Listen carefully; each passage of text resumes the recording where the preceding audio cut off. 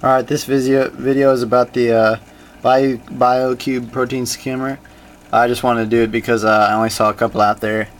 And uh, yeah, I just decided to make one of my own because I just got one tonight. I actually got it at about 8 o'clock and it is now 11.19 and I've only had to empty it uh, twice and it was not even a quarter of the way full but this is how much uh, protein I've gotten out of it so far you can see it's nice and yellow so you just gotta wait till the till the foam actually become turns into a liquid.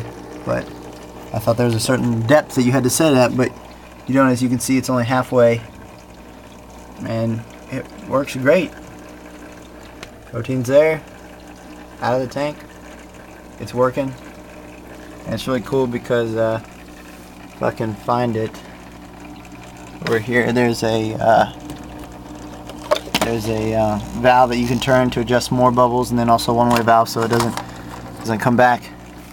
And that the uh, thing is just nice and quiet.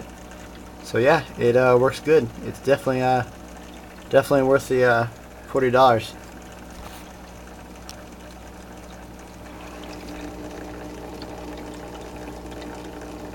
and it's just it's really nice and easy. Just take this off here. Oops.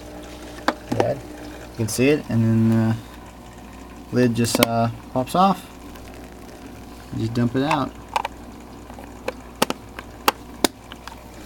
Works great and then just comes back sets right into place. Two suction cups. Or you can uh, it's got a hanger you can hang.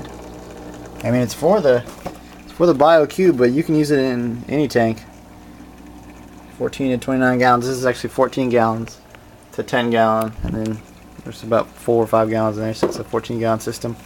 So yeah, works good. I suggest you uh, get it. I did try to make my own, but uh, I just I couldn't get to work, and I wasn't gonna mess with it. So yeah, this works really great. This little tiny thing. So I highly recommend it.